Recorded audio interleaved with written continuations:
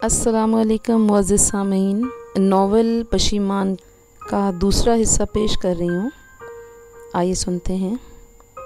असमा जब police officer के साथ अम्मार को गिरफ़्तार करने के लिए क्लासरूम में जाती है तो उस वक्त उसके दिमाग में रह रह कर असमा का अमार को फेंटी लगवा कर वो असमा को सबक सिखाना चाहती थी। न जाने क्यों इसे असमा का अमार की तरफदारी करना बहुत ज़्यादा बुरा लगा था। इंस्पेक्टर के साथ चार सिपाही मौजूद थे। वो उस वक्त की मैयत में क्लासरूम की तरफ़ बढ़ गए। चारों सिपाहियों ने यूँ राफलें तान रखी थीं, गोया किसी दहशत, दहशतगर्द का मुकाबला करने जा रहे हों। वो क्लासरूम में दाखिल हुए, उनके पाँव की आहट पाकर अमार की आँखें खुल गईं। उसवा के साथ पुलिस वालों को देखकर वो हैरान ही रह गया। यही है, इंस्पेक्टर ने उसवा से पूछा, पकड़ो इसे। इंस्पेक्टर ने सिपाहियों को इशारा किया और उन्होंने पूछा पकड़ो इसे। इंस्पेक्टर ने सिपाहियों को इशारा किया और उन्होंने चील की तरह झपट कर अम्मार को दोनों बाजुओं से जगड़ लिया। कि, ये क्या इंस्पेक्टर साहब? अम्मार शिश्तर रह गया था। ये तो तुम्हें थाने चलकर पता चलेगा बच्चों कि शरीफ लड़कियों को कैसे छेड़ा जाता है और यूनिवर्सिटी में बदमाशी का अंजाम क्या होता है। वो हकल को कैसे छेड़ा जाता है और यूनिवर्सिटी में बदमाशी का अंजाम क्या होता है। वो हकलाया, आपको गलत फहमी हुई है। क्यों ये मैडम साहब झूठ कह रही हैं? इंस्पेक्टर ने हाथ में पकड़ी स्टिक इसके पेट में चुबोई। अम्मार ने इस्तेफामिया नज़रों से उसवा को देखा, वो उसी की जानब मुतवजो थी। मैंने मना किया था ना, वो नखुवत भरे रह भूत बातों से मान जाएँ तो फिर इन्हें भूत कौन कहे? अमार की बात का जवाब दिए बगैर होंठ भेंच कर रह गया था। इसके वहम गुमान में भी नहीं था कि वो इस हद तक गिर सकती है। ले जाओ इसे, इंस्पेक्टर दुरुस्त लहजे में बोला और सिपाही इसे लेकर दरवाजे की जानब चल पड़े। वो क्लासरूम से बाहर निकले अम्मार को ये इतमान रूम से उठ ही नहीं सका था। इसे क्या पता था उस वह इसके लिए दिल में इतनी नफ़रत रखती है। इसे अपने आप से घिन आने लगी थी। पार्किंग में जाकर सिपाहियों ने इसे धिक्का देकर जीप में बिठा दिया। क्लासरूम से पार्किंग तक भी। वो किसी थर्ड क्लास मुजरिम की तरह खींचते हुए सिलाए थे। यूँ भी गरीब शुरफा की हद तक पाकिस्तानी, यूँ भी गरीब शुरफा की हद तक पाकिस्तानी पुलिस मिसाली अंदाज में करती है। मरे हुओं को मारना और गिरे हुओं को गिरा देना और ज़िंदा दरगोर कर देना हमारी पुलिस की फितरत सानिया है। इंस्पेक्टर साहब उसवा ने पुलिस वालों को जाने पर तैयार देकर आवाज़ दी।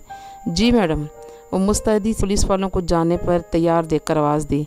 जी मैडम वो मुस्तैदी से नीचे उतरा।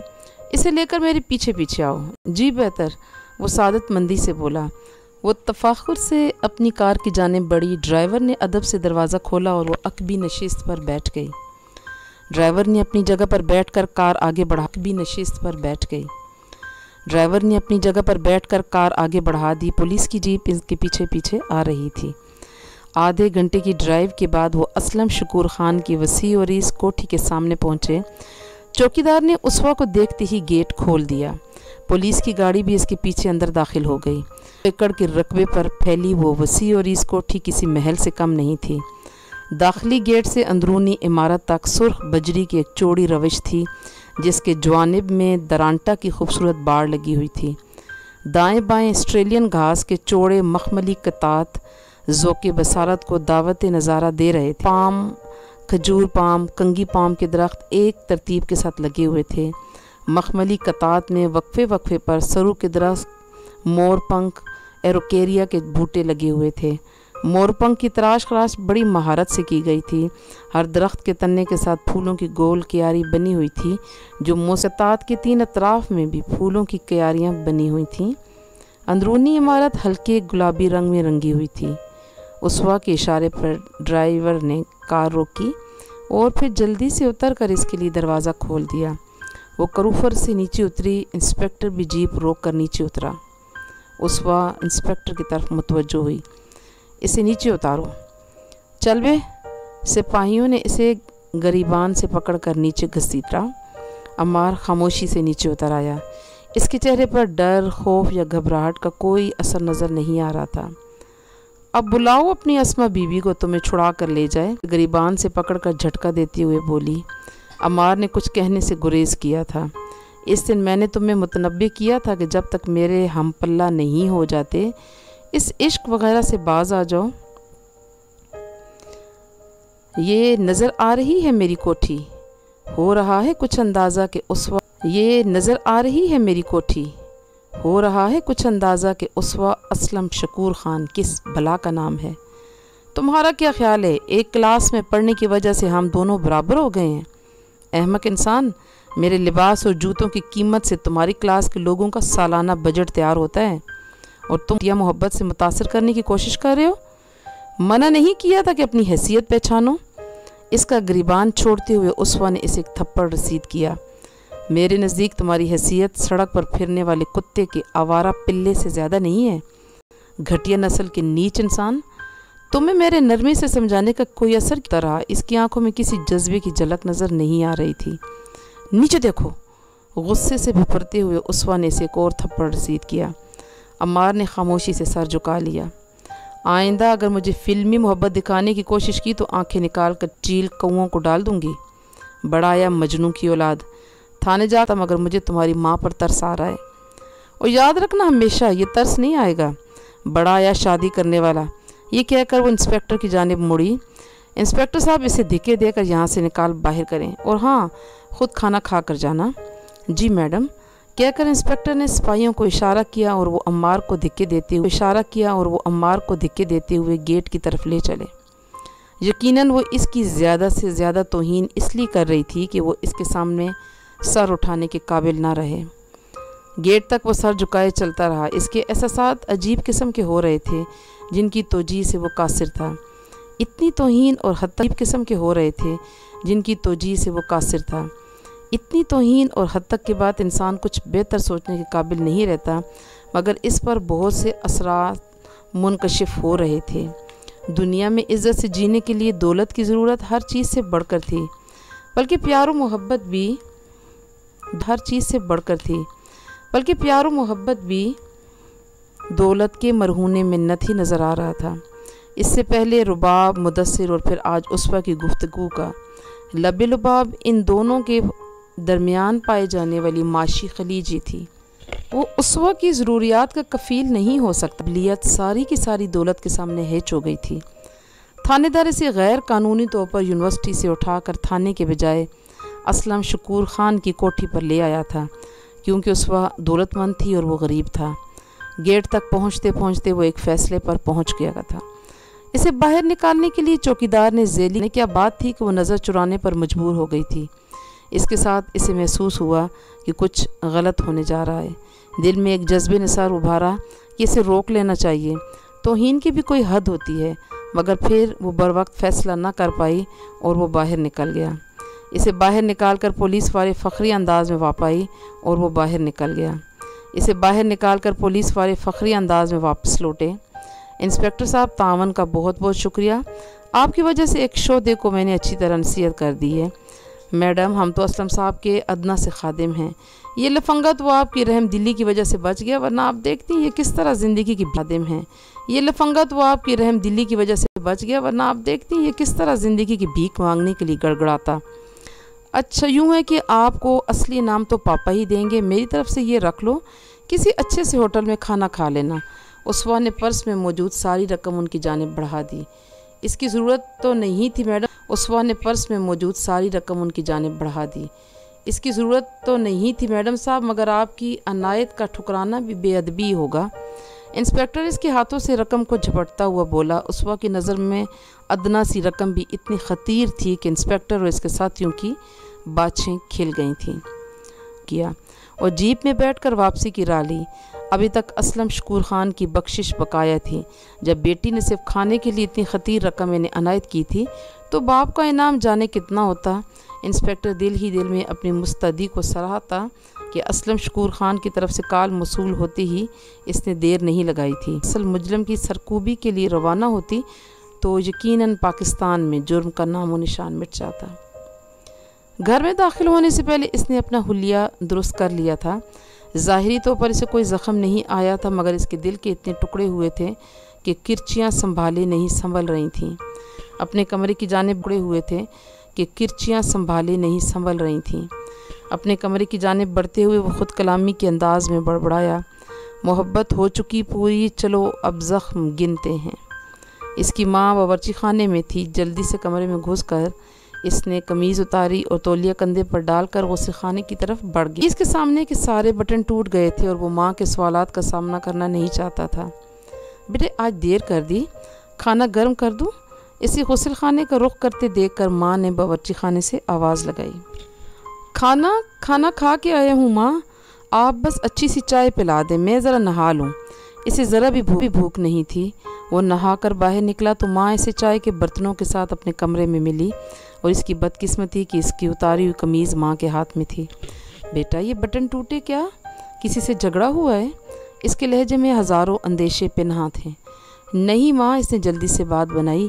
ये मुदसर की मेहरबानी से टूटा थे नहीं माँ, इसने जल्दी से बात बनाई। ये मुदसर की मेहरबानी से टूटे हैं। हाँ भला, वो कैसे?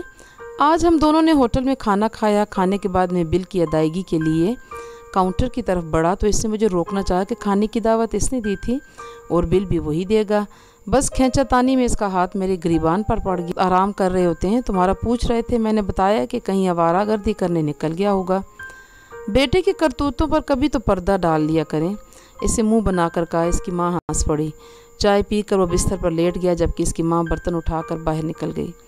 आँखें बंद करते ही इसकी सोचों में उसवा आधम की थी। इसकी मत गुफ्तगु पर गौर करने लगा।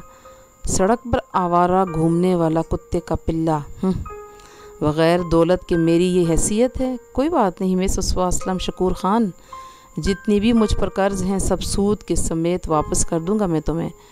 तुम्हारी हकारते में तुम्हें दौलतमंद होकर दिखाऊँगा। इत तुम्हारी हकारते में तुम्हें दौलतमंद होकर दिखाऊँगा। इतना कि तुम्हारे साथ दस दराजी करने पर भी पुलिस मुझ पर हाथ न डाल सके। चाहे तुम इस वक्त जिसकी भी बीवी हुई, मैं तुम्हें माफ़ नहीं करूँगा।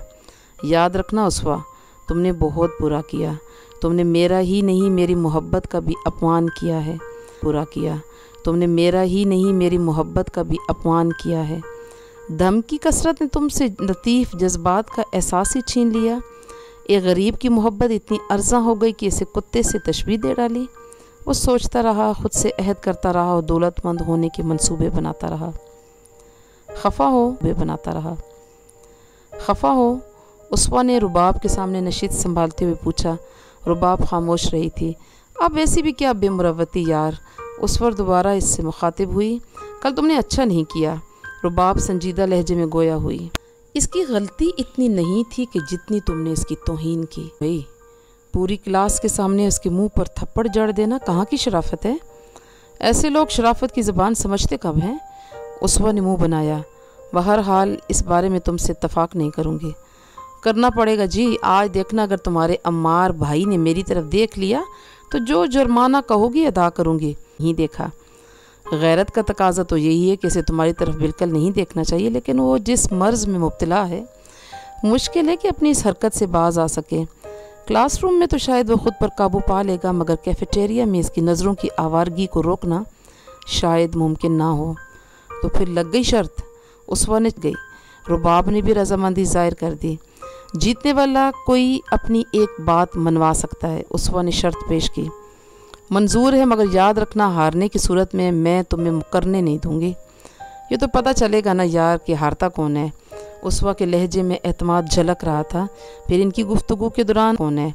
उसवा के लहजे में अतमाद झलक रहा था। फिर इनकी गुफ्तु के दौरान अम्मार मुदसर की हमरा कैंटीन के हाल में दाखिल हुआ। लें जी, तैयार हो जाओ। आशिक नामरात पहुँच गया। उसवा तंजिया अंदाज में बोली, अंदर दाखिल होते वक्त दरवाजे के करीब खड़े होकर दोनों दोस्तों ने, कैंटीन के हाल में अंदर दाखिल होते वक्त दरवाजे के करीब खड़े होकर दोनों दोस्तों ने, कैंटीन के हाल में एक तायराना निगाह दौड़ाई। हाल में दो टेबल ही खाली पड़े थे। एक में उसवा और रुबाब की टेबल के बिल्कुल मुतसिल था, जबकि दूसरा उनकी टेबल से दो टेबल छोड़कर पड़ा था। हर टेबल के गिर्द चार कुर्सियाँ पड़ी थीं, इन हर टेबल के गिर्द चार कुर्सियाँ पड़ी थीं, इनमें से दो कुर्सियाँ ऐसी थीं कि इन पर बैठकर बर रास्त उसवा का दीदार किया जा सकता था। और रुबाब को यकीन था कि अमार ने इन्हीं दो कुर्सियों में से एक का इंतखब करना है। उसवा की सोचें इसके बरक्स थीं। इसकी आँखों में रह रह कर अमार की आखिरी निगाह लहराने अचानक उसवा के दिल में शिद्दत से हार जाने की तमन्ना पैदा हुई। वो खुद हैरान रह गई थी कि ऐसा क्यों है? वो तो जी से कासिर थी। मगर इसके चाहने के बरक्स अमार इसकी तरफ़ पीट करके बैठ गया। रुबाब की हैरानी की इंतहा ना रही। उसवा को यूँ लगा जैसे कोई चीज़ छनाके से इसके उसवा तुम जीत गई यार। रुबाब मायूसी से बोली, वो इसके वाहमो गुमान में भी नहीं था कि अम्मार इतनी आसानी से अपने वजीफ़े से बाज आ जाएगा। मैंने कहा था ना, उस वक्त फीके लहजे में बोली, जीतने के बावजूद मायूसी की हल्की सी लहर ने इसके दिल को अपनी लपेट में ले लिया। मायूसी की हल्की सी लहर ने इसके दिल को अपनी लपेट में ले लिया था। रुबाब ने कहा अच्छा जनाब, अब अपनी ख्वाहिश बताओ ताकि माँ बदौलत इसे पूरा कर सके। ऐसा है कि उस ये सोच कर चंद लम्हे सोच में डूब गई, फिर बोली, आज बिल की अदायगी तुम करोगी। बस, रुक गई, फिर बोली, आज बिल की अदायगी तुम करोगी। बस, रुबाब के लहजे में खुशगवार हैरत थी। उसवा ने कहा, तुम्हें हरा दिया, ये खुशी काफ़ी है। ये अलग बात कि इसके लहजे से बिल्कुल भी ज़ाहिर नहीं हो रहा था कि वो खुश है। रुबाब हँसी अगर मैं जीती होती तो ऐसी शर्त मनवाती कि तुम्हारी तबीयत साफ़ हो जाती, साफ़ हो जाती। अच्छा मैं भी सुनो, सच बताओ। तो मैं तुम्हें यह कहना था कि अमार के हाल पर रहम करो, अगर ज़्यादा नहीं तो इसे ख़ुद को देखने से तो मना ना करो। क्या तुम ये शर्त मान जाती?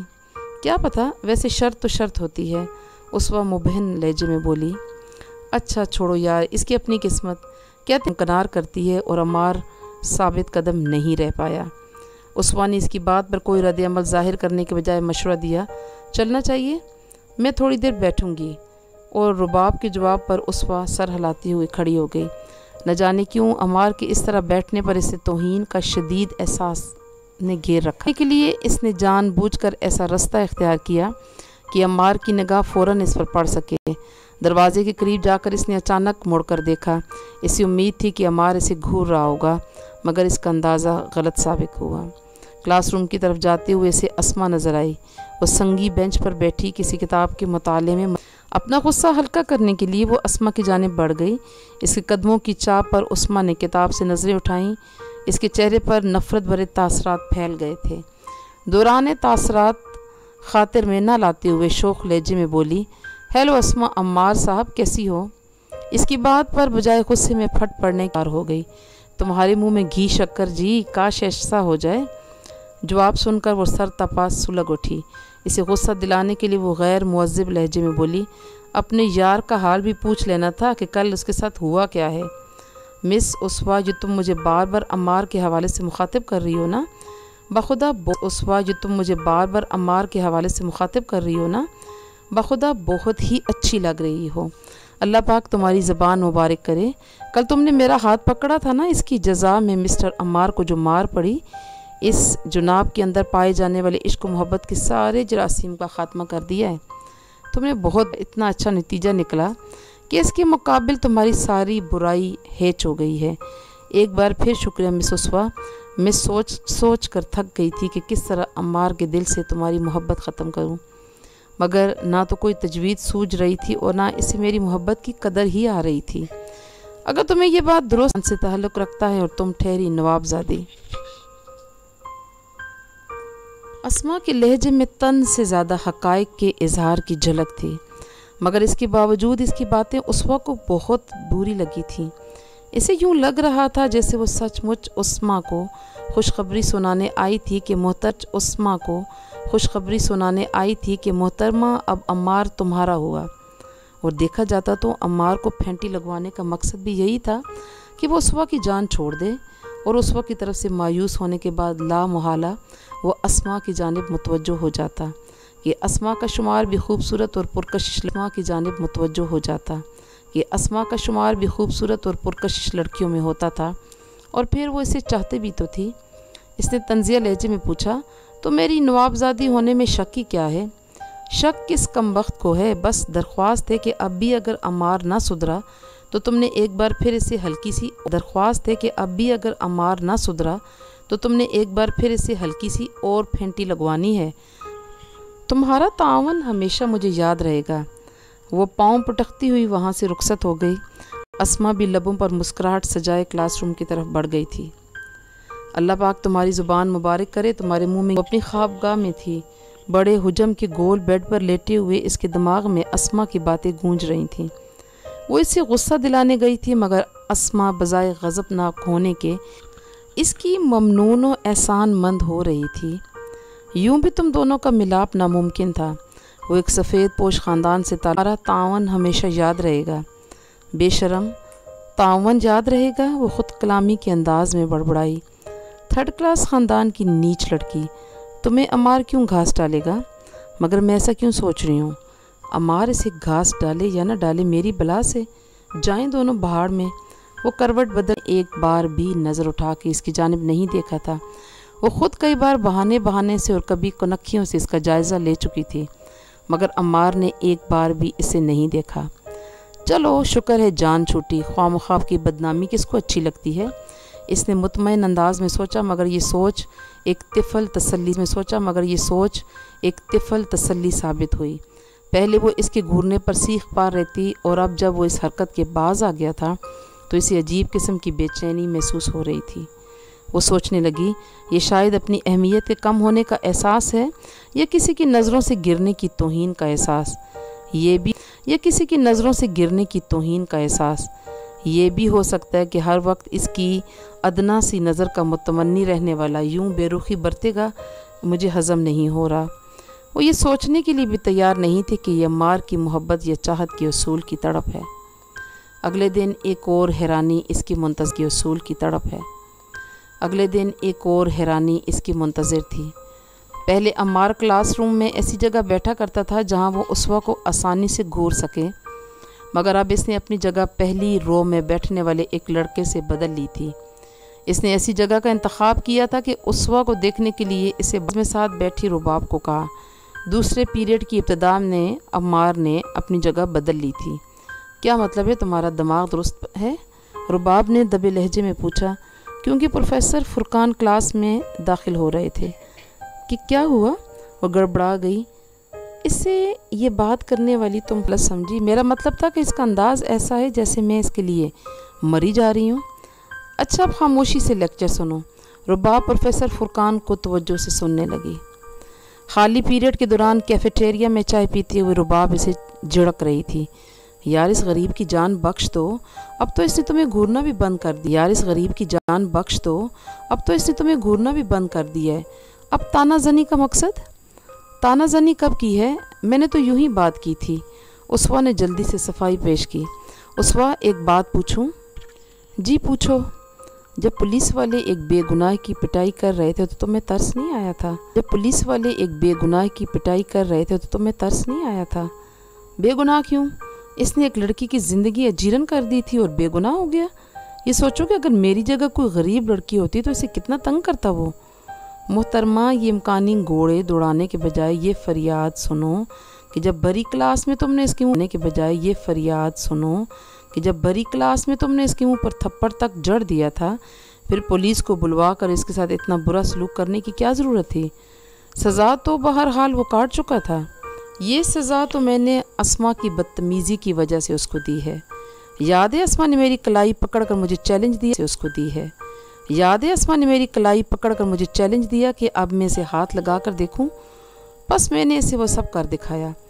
मोहतरमा, जानती हो पूरी क्लास को ये बात मालूम हो गई और तमाम तुम्हारे घटिया फेल और नीच हरकत से बरगश्ता हैं। घटिया क्यों? एक छछोरी लड़की की जजा दिखानी थी और बस। मैं तुम्हारी दोस्त हूँ, लेकिन यकीन करो तुम्हारी यह हरकत बज़ात ख़ुद मुझे इतनी बुरी लगी कि बयान से बाहर है। अम्मार के अंदर मुझे सवाए खूबियों के और कुछ नज़र नहीं आता। और अगर गुर्बत खामी है, तब भी सिर्फ़ खामी की बिना पर इसकी इतनी हद तक और तोहन? ये कहाँ का इंसाफ है यार? खूबियों का मालिक दोबारा नहीं मिलेगा, और फिर तुम्हारी दौलत इसके अंदर मौजूद वाहिद खामी को भी ख़त्म कर देगी। मुझे तो वो बहन समझता है और फिर शैदा भी तो तुम पर है। तुम खुद क्यों नहीं इसे खुश आमदीद कहती? उसवा ने मुँह बनाया। मैं मरना पसंद करूँगी? मेरा ख्याल है बहुत हो गया। अब इस मौजू मैं मरना पसंद करूँगी? मेरा ख्याल है बहुत हो गया। अब इस मौजू की जान छोड़ देना चाहिए। रुबाब ने उकता कर कहा और मजबूरन उसवा को भी असबात में सर हलाना पड़ा। यार, तुमने तो ख़ुद को बिल्कुल बदल लिया है। मुदसर के लहजे में तारीफ़ का अंसर नुमाया था। अमार ने फ़लसफ़ाना अंदाज में कहा, हरीफ का अंसर नुमाया था। अमार ने फ़लसफ़ाना अंदाज में कहा, हालात बदल देते हैं वरना कोई कब बदलना चाहता है। मुदसर हंसा, शायद डर गए हो। ऐसा कह सकते हो, इसने इस्बात में सर हिलाया पुलिस से? नहीं, अमार ने नफ़ी में सर हिलाया। इसकी नफ़रत से, जब मैंने ये जान लिया कि मेरे बारे में आया इसकी नफ़रत से, जब मैंने ये जान लिया कि मेरे बारे में इसके दिल में मौजूद नफ़रत को मेरी इस हरकत से बढ़ावा मिल रहा है तो मुझे अपनी रविश बदलना पड़ी। यानी अब तक इसकी मोहब्बत दिल से रुखसत नहीं हुई। अमार के लब मुस्कुराहट के अंदाज में खिंचे, मगर ये एक नाकाम कोशिश। और जब हँसते हुए चेहरे पर दुख की परछाइयाँ लरसती नज़र आएँ तो इसे कोई मुस्कुराहट का नाम नहीं दे सकता। वो आहिस्ता से गुनगुनाया, दिल में होता तो किसी तौर निकल भी जाता। अब तो वह शख्स बहुत दूर तलक है मुझमें। क्या मतलब है? मतलब ये कि ये इख्तियारी फ़ेल तो नहीं है ना। कोशिश कर रहा हूँ और इस कोशिश में बस इतनी सी कामयाबी हुई है कि अब अपने अफ़ाल पर काबू हासिल हो गया है। पहले बेबस होकर इसे देखने लगता था, अब नहीं देखता और ना देखूँगा। अलबत् इसकी नफ़रत व हकारत का जवाब एक दिन ज़रूर दूँगा। कब? ये मेरे रब ही को मालूम है। ये भी हो सकता है कि ये ख्वाब कभी शर्मिंदा तुम है। ये भी हो सकता है कि ये ख्वाब कभी शर्मिंदा ताबीर ना हो। तुम्हारी मौखर ज़िक्र बात बिल्कुल दुरुस्त है। ये ख्वाब कभी भी शर्मिंदा ताबीर नहीं हो सकता। अपनी हैसियत देखो तुम। तुम इससे कैसे बदला लोगे? और हाँ अगर तुम्हारे जहन में कोई गलत ख्याल परवरिश पा रहा है तो खुदारा कुछ करने से पहले ख्याल परवरिश पा रहा है तो खुदारा कुछ करने से पहले मुझसे मशवरा ज़रूर कर लेना। ये ना हो लेने के देने पड़ जाएँ। कोई गलत ख्याल नहीं है यार, बस दौलतमंद बनना चाहता हूँ। इतना कि अपने जायज़ हकूक़ के हसूल में मुझे दुशारी ना हो। मुदसर ने कहा, वो तो तुम यूँ भी हासिल कर सकते हो। गलत फहमी है जनाब की। अगर गरीबों को अपना हक मिल जाए तो सारे झगड़े और फसाद ही ख़त्म हो जाए। एक अमीरजादी सिर्फ़ इसलिए मुझे पुलिस के हाथों जदोकूब करवाती है कि मैंने इसे देखा क्यों? सोने पे सुहागा ये कि मेरे साथ ये बदसलूकी थाने के बजाय इसकी कोठी में की जाती है। अब मैं लाख पीटूँ, शोर मचाऊँ तो बात की बात है। ये भी हो सकता है कि कोई ऐसा केस बना ले कि मुझे जान छुड़ाना ही उनसे मुश्किल हो जाए। ओहो तो अब तुम्हारा क्या इरादा है? बता तो दिया है कि दौलत का हसूल। खूब तो ये होगा क्यों कर? वो मुदसर हंसा।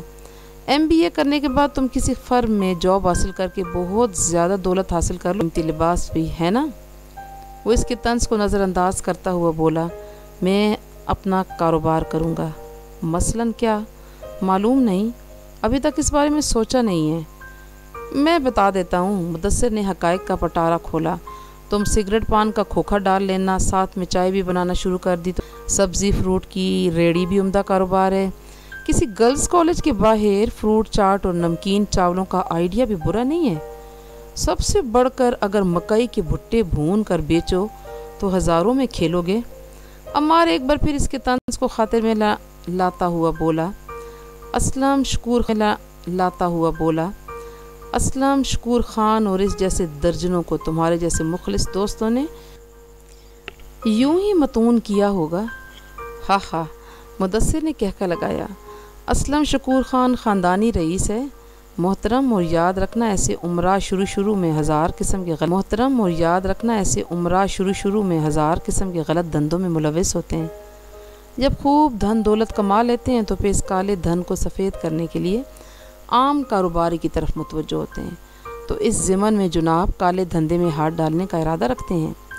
कहते हैं, नीयत साफ़, मंजिल आसान ने का इरादा रखते हैं। कहते हैं, नीयत साफ़, मंजिल आसान ये घिसा पटा मुहावरा किताबों ही में अच्छा लगता है। मेरा ख्याल है, खाली पीरियड ख़त्म होने वाला है। अमार बहस को ख़त्म करते हुए खड़ा हो गया। मुदसर ने इसकी तकलीद की। वो इस वक्त यूनिवर्सिटी के लॉन में बैठे थे। उस वक्त तकलीद की। वो इस वक्त यूनिवर्सिटी के लॉन में बैठे थे। उस वक्त को रुबाब के साथ कैफेटेरिया की तरफ़ जाते देखकर वो वो मुदसर के साथ लॉन में आ गया था। आजकल वो हत्तल वसी कोशिश कर रहा था कि उस वक्त का सामना ना करना पड़े। घटिया लड़कियों की घटिया मोहब्बत। असमा को अमार गई। असमा ने आजकल अमार के साथ ही बैठना शुरू कर दिया था। अमार, पता है मक्खी हमेशा साफ़ अशिया को छोड़कर गंद ही पर क्यों बैठती है? और इस गंदी मक्खी की तरह कुछ लोगों की जहनीत भी इतनी गंदी होती है कि बस गंद की सोच ही इसमें पल सकती है। असमा की आवाज़ काफ़ी बुलंद थी। क्लास में मौजूद तलबा इन दोनों की तरफ़ मुतवजो हो गए थे। चोर कौन? असमा तेज़ लहजे में कहती हुई खड़ी हुई और बेबाकाना अंदाज में बोली, सारे सुन लें। मैं अम्मार को पसंद करती हूँ और इन जल्द ही हम शादी करने वाले हैं। बस ये कुछ और सुनना है। आखिर में वो उस्मा को बस ये कुछ और सुनना है। आखिर में वो उस्मा को मुखातिब हुई थी। वाह, खूब उम्दा। बल्ले भाई बल्ले क्लास में मुख्तलिफ़ तलबा की मिली जुली आवाज़ें बुलंद हुई थीं। असमा, प्लीज़ बैठ जाओ। अम्मार ने इसे बाजू से पकड़ कर नीचे खींचा और वो उसवा को घूरती हुई बैठ गई। पकड़ कर नीचे खींचा और वो उसवा को घूरती हुई बैठ गई। उसवा ने इनकी बात का कोई जवाब नहीं दिया था। अलबत्ता असमा की बात ने इसके तन बदन में आग सी लगा दी थी। इसी वक्त प्रोफेसर हाशिम क्लासरूम में दाखिल हुआ और तमाम चमगोयाँ खामोशी में ढल गईं। सारे प्रोफेसर की तरफ़ मुतवजो हो गए थे। प्रोफेसर हाशिम कर की तरफ़ मुतवजो हो गए थे। प्रोफेसर हाशिम का लेक्चर शुरू हुआ, मगर उस वक्त बावजूद कोशिश के लेक्चर पर ध्यान न दे सकी। इसके दिमाग में मुसलसल असमा का तंजिया लहजा गूंज रहा था। मैं अम्मार को पसंद करती हूँ। जल्द ही हम शादी कर लेंगे। शादी कर लेंगे। शादी कर लेंगे। पीरियड के ख़ात्मा आ बिल्कुल ठीक हूँ। वो गड़बड़ाती हुई बोली, बस सर में दर्द है। मेरा ख्याल है मुझे चलना चाहिए। प्रोफेसर साहब के आने से पहले वो क्लासरूम से बाहर आ गई थी। होश में तो हो साहबजादे। बशीर अहमद के लहजे में हैरानी थी। जी, अबू जान आप जानते हैं कि मैं नशा नहीं करता। अमार ने इतमान ने इतमान से जवाब दिया, मगर आज मुझे कुछ शक हो रहा है। अबू जान, मैं मज़ाक के मूड में नहीं हूँ। हाँ मूड में तो नहीं हो, मगर मज़ाक तो कर रहे हो ना? टालने की कोशिश ना करें। जुनाब, आप अपनी तालीम मुकम्मल करें और कोई अच्छी सी जॉब तलाश करें। अबू जान, आपने अपनी जॉब से क्या कमा लिया? अबू जान, आपने अपनी जॉब से क्या कमा लिया? तुम्हें किसी चीज़ की कमी आने दी, बशीर अहमद संजीदगी से बोला, अबू जान, मेरे ना करने से हकीकत नहीं बदलेगी कि मेरी बहुत सारी ख्वाहिशात, वसाइल की कमी की भींट चढ़ चुकी थीं। अम्मी जान, और आपने मुझे इतनी मोहब्बत दी कि शायद ही किसी के वालदे ने दी हो। मगर मोहब्बत दी कि शायद ही किसी के वालदे ने दी हो। मगर ये बात आप भी तस्लीम करेंगे कि हम गरीब हैं, और गुर्बत जॉब करने से कम नहीं हो सकती। तुम्हारे कहने का मतलब है, मैं तुम्हें बहुत सारी ख्वाहिशात पूरी करने में नाकाम रहा हूँ। बशीर अहमद के लहजे में दुख झलक रहा था। हाँ मगर मुझे आपसे कोई गिला नहीं है। क्यों था? एहसान है भाई तुम्हारा, बशीर अहमद तंजिया कहते हुए बोले। अमार इनके तंज को नज़रअंदाज करता हुआ बोला अच्छा पता है, मेरे चंद क्लास फेलोज़ ऐसे हैं जो अपनी कार में यूनिवर्सिटी आते हैं। उनके ज़ाती अकाउंट में लाखों रुपए जमा हैं। इनमें से कुछ ऐसे हैं जो हर माह आउटिंग के लिए उनके वालदेन इसने इस्तात रखते हैं कि उन्हें ये सहूलियात बहम पहुँचाएँ। मैं अपनी महदूद आमदनी में ये सब कैसे करता? मेरे कहने का भी यही मकसद था और मैं नहीं चाहता कि अपनी औलाद को भी मुझे यही कहना पड़े। मोहतरम, इस घर की कीमत चंद लाख रुपए से ज़्यादा नहीं है और ये रकम किसी भी कारोबार के महसूस करते ही वो मुस्कराया। अबू जान, मैं ये बात अच्छी तरह जानता हूँ, मगर मैं महदूद पैमाने पर कारोबार शुरू करूँगा। और फिर आहिस्ता आहिस्ता इसे तरक्की दूँगा। तुम सवाए इस घर से हाथ धोने की और कुछ नहीं करोगे। मेरा ख्याल है कि आपके बाद ये घर मुझे ही तो मिलेगा। तो तो मेरी चीज़ है, मैं आज चीज़ है, मैं आज बेचूँ या कल? फिर कोई खैमा वगैरह तो लेते आना। वहीं पर रहेंगे अब। अमार इतमान से बोला, आपको सरकारी क्वार्टर अलाट हो सकता है। बशीर अहमद ने ठंडा सांस लेकर कहा, एक शर्त पर। जी, असल बात बताओ। चंद लम्हों की खामोशी के बाद अम्मार आहिस्तगी से बोला, असल बात बताओ। चंद लम्हों की खामोशी के बाद अम्मार आहिस्तगी से बोला, उसका नाम उसवा है। असलम शकूर ख़ान की अकलौती औलाद है। इसने मुख्तसर लफ्ज़ों में वालिद को तमाम किस्सा दोहरा दिया था। पुलिस की बात भी बेझिझक दोहरा दी थी। तुम शायद मुझे दुरुस्त नहीं समझते। नहीं, आप मेरे बाप भी तो हैं और मैं आपको दुख नहीं देना चाहता था। दुख तो अब भी पहुँचा है। यकीनन पहुँचा होगा, मगर अब तो मैंने अपने वसाइल से और मसाइल से निमटने का मंसूबा सोच लिया है।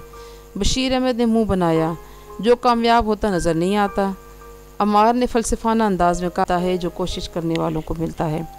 मतलब हमारा बेघर होना तय हो गया। कुछ पाने के लिए कुछ खोना तो पड़ता है ना जी बस, बातें ही करना सीखी हैं, खैर। कल मैं क्वार्टर के लिए दरख्वास्त दे दूँगा और अलाटमेंट में हफ़्ता एक लग जाएगा। इसके बाद तुम घर का सौदा कर लेना।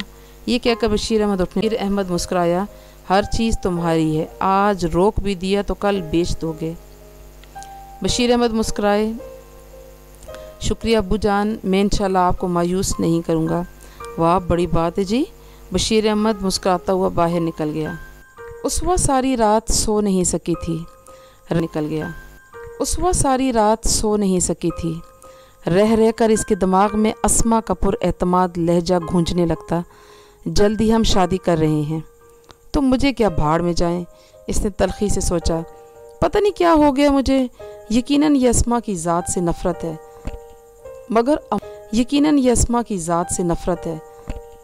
मगर अमार से भी तो मैं नफ़रत करती हूँ, और दो काबिल नफ़रत अशखास अगर एज हो जाएँ तो मुझे क्या? मगर वो सारी रात सोच कर भी अपनी परेशानी की वजह दरियाफ्त ना कर सकी। अमार को वो पसंद नहीं करती थी असमा से इसे नफ़रत थी इसके बावजूद। अमार को वो पसंद नहीं करती थी असमा से इसे नफ़रत थी इसके बावजूद। इन दोनों की मोहब्बत ने इसकी नींद उड़ा दी थी। सोचते सोचते इसे अमार के साथ अपना रवैया याद आया। कितनी तोहन की थी इसने अमार की। लेकिन एक लफ्ज़ भी तो गिले शिकवे का इसके मुँह से नहीं निकला था। बल्कि इसने तो इस वाक़े का, इसकी अपनी सहेली रुबाब और दो तीन दूसरी लड़कियों ने इसे एहसास दिलाने की कोशिश की थी, मगर जिसके साथ इसने ये सलूक किया था, वो एक हरफ शिकायत भी ज़बान पर नहीं लाया था। वो गलती पर था, इसलिए खामोश रहा। इसके दिमाग में एक बोगस दलील गूंजी। इसके साथ इसकी यादाश्त में रुबा जुर्म तो नहीं है ना? दुनिया की कोई अदालत इस जुर्म नहीं समझती। दीन इस्लाम इस अमल की मजम्मत करता है तो इसके साथ वो औरत को भी तो चेहरा ढाँपने का हुक्म देता है।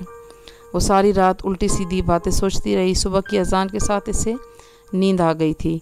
दिन चढ़े, वो जागी तो काफ़ी लेट हो गई थी। खैर तो है जनाब, इसे देखते ही रुबाब ने मुस्कुराते हुए पूछा, इसी वक्त प्रोफेसर हाशिम क्लास में दाखिल हुए। उस वक्त इसे नहीं देख सकी थी कि इसकी जानब इसने पीठ कर रखी थी। बस यार, क्या बताऊँ? सारी रात मूवी देखती रही, इसीलिए सवेरे आँख नहीं खुल सकी। अच्छा बैठो, प्रोफेसर हाशिम नहीं खुल सकी। अच्छा बैठो, प्रोफेसर हाशिम हमें घूर रहे हैं।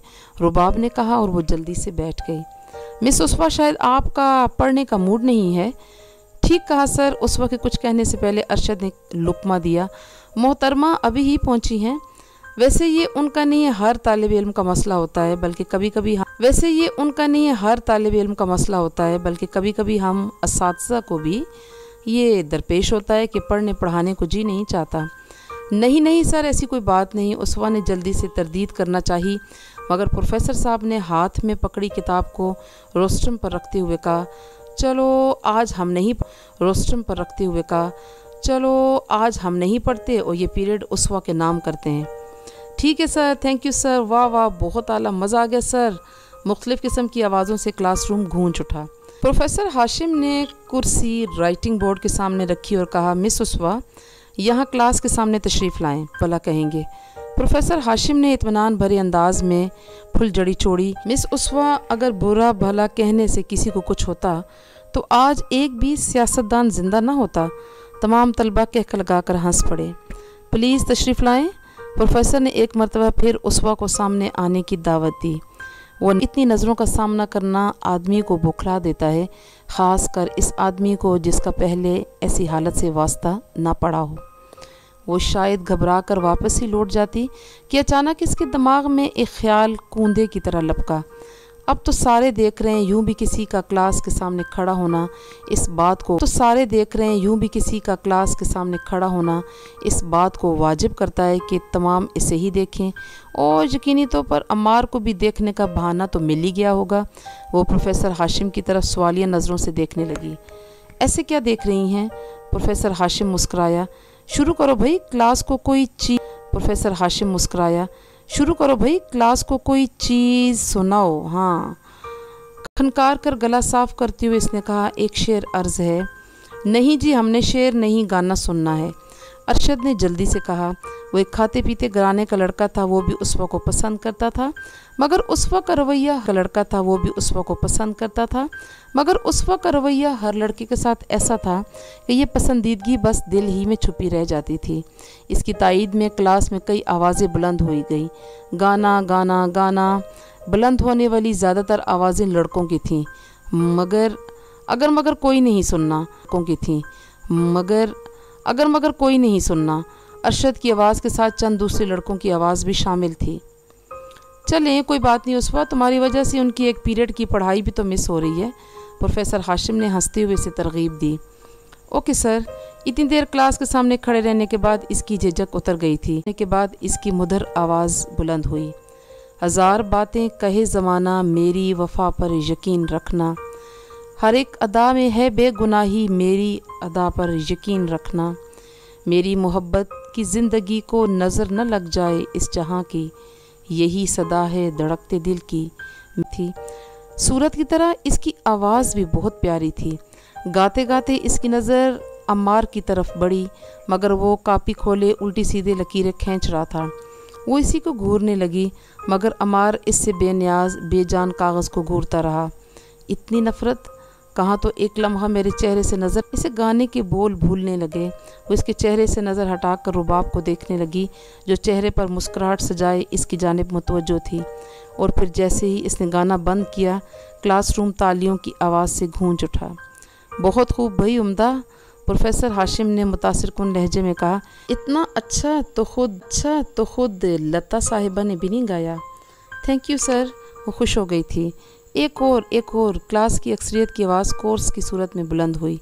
नहीं भाई, इसने इनकार में सर हिलाते हुए कहा, इसकी क्या गारंटी है कि एक और गाने के बाद आप एक और की ज़िद नहीं करेंगे? जबकि हर एक ने सामने आकर अपनी बारी करेंगे। जबकि हर एक ने सामने आकर अपनी बारी भुगताना है। मगर इसके इनकार के बावजूद काफ़ी तलबा मसर रहे कि वो गाना सुनाए। अच्छा ऐसा है कि मिस उसवा कि आप बस एक गाना और सुना दें फिर किसी और स्टूडेंट को अपनी जगह बुलाकर आप वापस बैठ सकती हैं। अच्छा ठीक है सर वो हर दिल वापस बैठ सकती हैं। अच्छा ठीक है सर वो हर दिल अज़ीज़ प्रोफेसर हाशिम की बात नहीं टाल सकी थी। एक बार फिर इसकी मधुर और खुशकन आवाज़ से क्लासरूम गूंजने लगा। दिल खोया खोया, गुमसम, दिल खोया खोया। यादों में किसी की गुम, दिल खोया खोया। इश्क पर जोई ज़ोर, कोई ज़ोर, कोई ना। गाना गाते हुए बार बार इसकी नज़रें भटक कर अम्मार को देखने लगती। मगर वो बेगाना सा बैठा सुनता रहा। गाने के बोल जैसे ही ख़त्म हुए, क्लासरूम एक बार फिर तालियों की आवाज़ से गूंज उठा था। तालियों की आवाज़ थमते ही प्रोफेसर हाशिम ने कहा कि जी मैं आया को उम्मार को बुला ले, मगर फिर इसे झिझक में सूई हुई। इसने बजाते खुद इसे धुतकारा था। अब इसके लिए मुमकिन नहीं था कि भरी क्लास में से पुकारती। मिस रुबाब एक लम्हा सोचने के बाद इसने अपनी सहेली का नाम पुकारा। वो इसे गसीली नज़रों से घूरती क्लास के सामने आ गई। जबकि उस वक्त हमें कौन सा गाना सुना रही हैं? प्रोफेसर हाशिम ने मज़ाहिया अंदाज में कहा, वो इतमान से बोली, सर, मुझे गाना गाना तो नहीं आता। अगर आप कहते हैं तो गाना पढ़ सकती हूँ। भला गाना कैसे पढ़ा जाता है? प्रोफेसर हाशिम मुतफसर हुआ, जैसे सबक पढ़ा जाता है, सर। ओहो, चंद लड़कों की अफसोसनाक आवाज़ें गूंजी। तो तो ये कह मैं दो तीन लतीफ़े सुना देती हूँ। इसने तजवीज़ पेश की। ओके, शुरू करो। प्रोफेसर हाशिम ने इसबात में सर हलाया। एक शख्स दुकानदार के पास वो लतीफ़े सुनाने लगी। इसके लताइफ अगरचा इतने अच्छे नहीं थे, मगर इसकी सूरत ऐसी थी, काफ़ी लड़कों को ज़बरदस्ती कह के लगाने पड़े। अपनी बारी भुगता काफ़ी लड़कों को ज़बरदस्ती कह के लगाने पड़े। अपनी बारी भुगता कर इसने अरशद का नाम ले दिया, जो बार बार गाने का नाम ले रहा था, और वो बुरे बुरे मुँह बनाता क्लास के सामने आ गया। गाना सुनाए जी, गाना। उसवा और बाप के साथ कई और लड़कियों ने भी बावाज़ बुलंद पुकारा था। ओके ओके, अरशाद ने हाथ उठा अहमद अनगोश हो गए थे। इसने खंखा कर गला साफ़ किया और आँखें बंद करके गाने लगा। मेरे महबूब, क़ियामत होगी, आज रसवा तेरी गलियों में मोहब्बत होगी। इसने दो बोल ही गुनगुनाए थे कि इसकी भद्दी आवाज़ से तंग आकर तमाम यक ज़ुबान होकर बोले थैंक यू जी थैंक यू आप नहीं किसी और को मौका दें। और वो परेशान हुए बगैर बोला, आप खुद ही ज़िद कर रहे थे, खैर। वो प्रोफेसर हाशिम की तरफ़ मुतवजह हुआ, जो इसके अंदाज पर मुस्कुरा रहा था, सर, क्या मैं किसी ऐसे बंदे को बुला सकता हूँ जो एक बारी भुगता चुका हो? नहीं जी, प्रोफेसर ने इनकार में सर हलाया। इस तरह तो तमाम को मौका नहीं मिलेगा, ओके सर तो तालियों लाया इस तरह तो तमाम को मौका नहीं मिलेगा, ओके सर तो तालियों की गूंज में तशरीफ़ लाती हैं सुम्बल सुम्बल ने एक मिली नगमा गा कर सुनाया और इसकी आवाज़ भी काफ़ी बेहतर थी। इसने मुदसर को नामजद किया, जिसने मुख्तलिफ़ जानवरों की आवाज़ें निकाल कर पूरी क्लास को महजूज किया और फिर असमा का नाम लेकर अपनी जगह पर जा बैठा। अस कहने के गाना शुरू कर दिया था। इसकी आवाज़ अगर उसवा से अच्छी नहीं थी तो इससे कम भी नहीं थी। कितना प्यार तुम्हें करते हैं, आज हमें मालूम हुआ। जीते नहीं, तुम पर मरते हैं, आज हमें मालूम हुआ। और फिर जैसे ही इसने गाना ख़त्म किया, तमाम एक और एक और की रट लगाने लगे। फिर बग़ैर की गज़ल गानी शुरू कर दी थी। चाहत में क्या दुनियादारी, इश्क में कैसी मजबूरी? लोगों का क्या समझाने दो, उनकी अपनी मजबूरी। गज़ल के ख़ात्मे पर एक और एक और का शोर मच गया था। वो खुश दिली से एक और गाना सुनाने लगी। गाते हुए इसकी नज़रें ज़्यादातर अमार की जानब भी आने लगी। गाते हुए इसकी नज़रें ज़्यादातर अमार की जानब भी मुतवजो रही थीं। वो भी मुस्कुराते हुए इसे देख रहा था। उस वक्त के गाने पर इसने बिल्कुल दाद नहीं दी थी, मगर असमा का खूब दाद दे रहा था। और फिर असमा का गाना अभी ख़त्म नहीं हुआ था कि प्रोफेसर फ़ुरकान क्लासरूम में दाखिल हुआ, यकीनन वो अपना पीरियड लेने आया था। उसी से उठकर इसे ताज़ीम दी। प्लीज़ सर, तशरीफ़ रखें। प्रोफेसर फ़ुरकान जल्दी से बोला, मेरा ख्याल है आज पढ़ाई का मूड नहीं है। सर जी, आप बैठे और सुने कि असमा कितना अच्छा गाती हैं। प्रोफेसर हाशिम ने एक स्टूडेंट को इशारा किया और इसने खाली कुर्सी लाकर उनके करीब रख दी। प्रोफेसर फुरकान भी बैठ गया असमा खंकार कर, और फिर इसने पांचवा गाना ख़त्म किया था कि उस वक्त खड़े होकर मुँह बनाते हुए बोली, सर, हमें मज़ीद कितनी देर असमा एहतशाम की गायगी से महजूज होना पड़ेगा? प्रोफेसर हासिम ने मुस्करा कर कहा तो आप जाएँ? नहीं सर, मैं अपनी बारी भुगता चुकी हूँ, अब किसी और को मौका मिलना चाहिए। ओके, प्रोफेसर हाशिम इस्बात में सर हिलाकर मौका मिलना चाहिए। ओके, प्रोफेसर हाशिम इस्बात में सर हिलाकर असमा की तरफ़ मुतवजो हो गया। बहुत उम्दा असमा आपकी आवाज़ बहुत अच्छी है। दिल चाह रहा है कि आपसे मज़ीद गीत सुने जाएँ। मगर खैर, मोतरजीन का एतराज़ भी बढ़ा के आप किसी और को अपनी जगह बुला लें। मोहतरम अम्मार, असमा मोहब्बत बड़े लहजे में, मोहतरम अम्मार, असमा मोहब्बत बड़े लहजे में बोली थी। उस वह मुँह बनाकर नीचे देखने लगी। नामालूम क्यों इसे इन दोनों की चाहत? एक आँख नहीं भाती थी। अमार क्लासरूम के सामने आकर बोला, मैं अपनी नज़म सुनाऊँगा। नहीं, गाना सुनाओ। दो तीन लड़कियों की आवाज़ें उभरी। वो मुस्कुराया, ज़रूर सुनाता ज़रूर सुनाता, मगर यकीन मानो, अरशद भाई की आवाज़ में आप लोगों ने फिर भी दो बोल बर्दाश्त कर लिए थे। मेरी आवाज़ में एक बोल भी बर्दाश्त नहीं कर पाओगे। ठीक है, वैसे भी लड़का अपनी नज़म सुना रहा है। प्रोफेसर फुरकान जो अब अदब से गहरा लगाव रखते थे, उसकी तरफदारी करने लगे। अमार ने एक तायराना नज़र तुलबा पर हुआ अब न कभी उसकी तरफ़ देखेंगे और पहले की तरह उसको न हम सोचेंगे। अब न भूले से भी बारिश में हम नहाएँगे। खुद भी तंग होंगे, ना अहबाब को सताएँगे। खुद से इस तौर अदावत नहीं होती हमसे। थक गए, वाह वाह, क्या बात है। प्रोफेसर फुरकान ने बाआवाज़ बुलंद दाद दी। और जालिम, ये क्या कर दिया? एक दो लड़कों ने आवाज़ बुलंद हुई। अब न जागेंगे कभी देर तलक चाँद के साथ। खुद को फंसने नहीं देंगे यूँ तेरी याद के साथ। अब न तड़पेंगे कभी इसलिए रोएँगे। अब न तड़पेंगे कभी इसलिए रोएँगे। अब फ़कत सोएँगे, बस सोएँगे बस सोएँगे। जान लुटाने की सखावत नहीं होती हमसे। थक गए और मोहब्बत नहीं होती हमसे। क्या बात है? जान लुटाने की सखावत नहीं होती हमसे, है। जान लुटाने की सखावत नहीं होती हमसे। एक लड़का ज़ोर से बोला, इसी वक्त एक और ने लुकमा दिया। सोना अपने मुकद्दर में कहाँ यार? इम्तिहान सर पे और जनाब को सोने की पड़ी है। खामोश यार सुनने दो, गुस्से भरी आवाज़ में डांटा गया, जबकि अमार तमाम से बेनियाज अपनी नज़म सुनाता रहा। अमार तमाम से बेनियाज अपनी नज़म सुनाता रहा। अब न जुल्फ़ों को तेरी काली घटाएँ बोलेंगे अब न आँखों को तेरी झील से तशबी देंगे। मिसल कोयल तेरी सूरत नहीं लिखेंगे, रुख रोशन को माह जूत नहीं लिखेंगे। जब टूटा है रायत नहीं होती हम, जब टूटा है रायत नहीं होती हमसे। थक गए और मोहब्बत नहीं होती हमसे। ओ भाई, किसकी जुल्फ़ों की बात कर रहे हो? हमें तो सुनहरी जुल्फ़ें नज़र आ रही हैं। कहने वाले ने यकीनन असमा की सुनहरी जुल्फ़ों की बात की थी। अक्ल के अंधे हो तुम। इसे जवाब देने वाला बाआवाज़ बुलंद बोला, काली जुल्फ़ों का गम मज़ाक गाती है। अब न मानेंगे कि सांसों के महक आती है। तेरी मुस्कान बहारों का संदेशा लाए। ये गलत था, ये गलत है, यही बोला जाए। ज़िक्र तेरा ये तिलावत नहीं होती हमसे। थक गए और मोहब्बत नहीं होती हमसे। अमार ने नज़म ख़त्म की और कलम तालियों की आवाज़ से गूंज उठा। लो जी उसवा बीबी, रबाब ने इसके कान में सरगोशी की। तुम्हारी तमन्ना तो पूरी हो गई ना, अब अमार भाई ना तो तुम्हारी जुल्फ़ों को काली खटा बोलेगा और ना आवाज़ की तारीफ़ करेगा, बल्कि तुम्हारी जानब देखेगा ही नहीं। जाए भाड़ में? उसवा मुँह बनाते हुए बोली, मैं कौन सा इस, उसवा मुँह बनाते हुए बोली, मैं कौन सा इसकी दीद या मोहब्बत के लिए मरी जा रही हूँ? बिल्कुल उल्टी खोपड़ी की हो। रुबाब ने आहिस्ता मगर पुरतैश लहजे में कहा, हर बात को अपनी ऊपर ले जाती हो। सबको पता है कि तुमने इसे ही इस हद तक लाया फिर यूँ कहने की आखिर क्या तुक बनती है? और फिर उसवा के कुछ कहने से पहले प्रोफेसर की आखिर क्या तुक बनती है? और फिर उसवा के कुछ कहने से पहले प्रोफेसर फुरकान की पाटदार आवाज़ गूंजी, बहुत खूब मिस्टर अम्मार, लेकिन बुरा ना मानो तो इतना पूछना चाहूँगा कि ये मोहब्बत शुरू कब की जो थक भी चुके हो? थका नहीं, सर। सर थका दिया गया है। अरशद की तंजिया आवाज़ बुलंद हुई। पुलिस की मार बढ़ क्या पुलिस? मैं समझा नहीं। प्रोफेसर फुरकान सचमुच हैरान रह गया, जबकि प्रोफेसर हाशिम भी हैरानी से अरशद को गूंजने लगा था। जी जनाब, मुआज़ सामीन तो आपने इसकी दूसरा हिस्सा सुना है। उम्मीद है आपको पसंद आएगा और एक बेहतरीन नावल है, बड़े आराम से, बड़े अच्छे तरीके